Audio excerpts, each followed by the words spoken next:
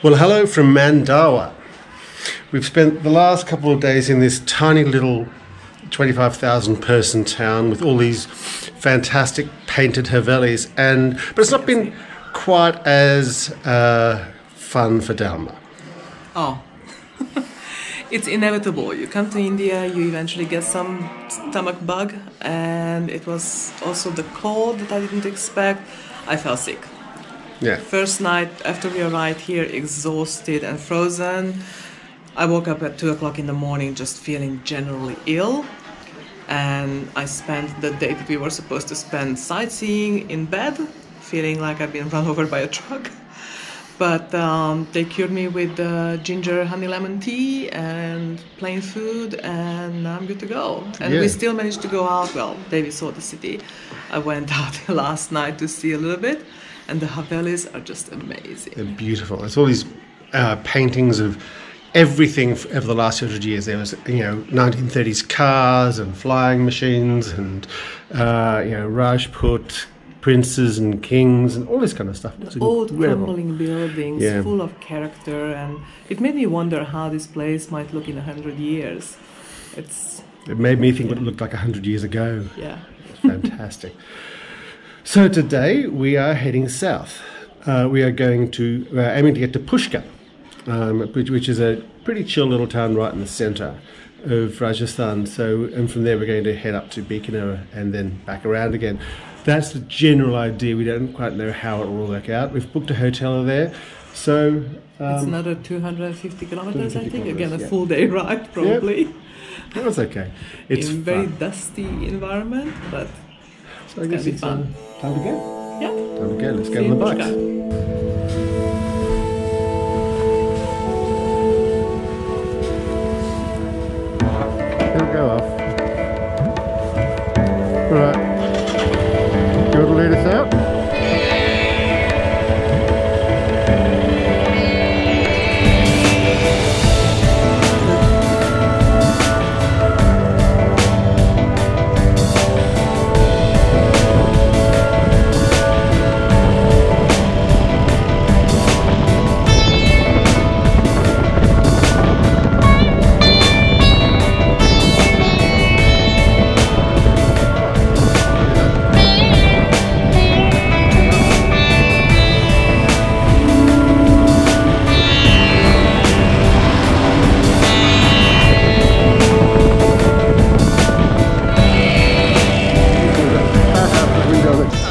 Wound up in some dusty old town, um, and is pull over because the, uh, the navigator kept taking us onto different roads. So now we're just heading off again.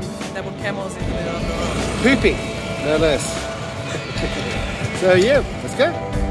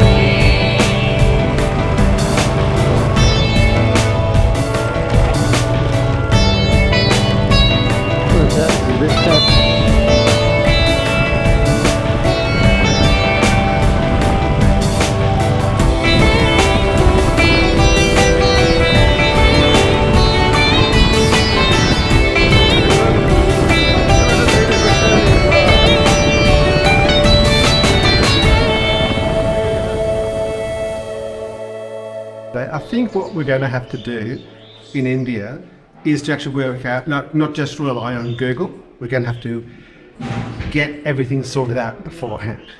We're in Pushkar. We made it. We did make the Pushkar. Yes, the, one of the bikes is uh, playing up, or both the bikes are playing up in different ways.